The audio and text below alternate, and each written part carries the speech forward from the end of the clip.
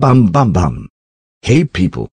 Today I am going to show you how to get Adobe Flash Player for Linux. First go to the link in the description and select your operating system type.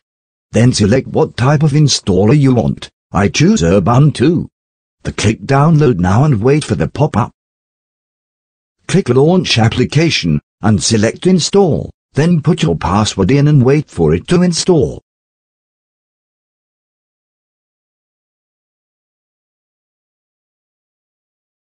After it finishes, click Next, and you are done.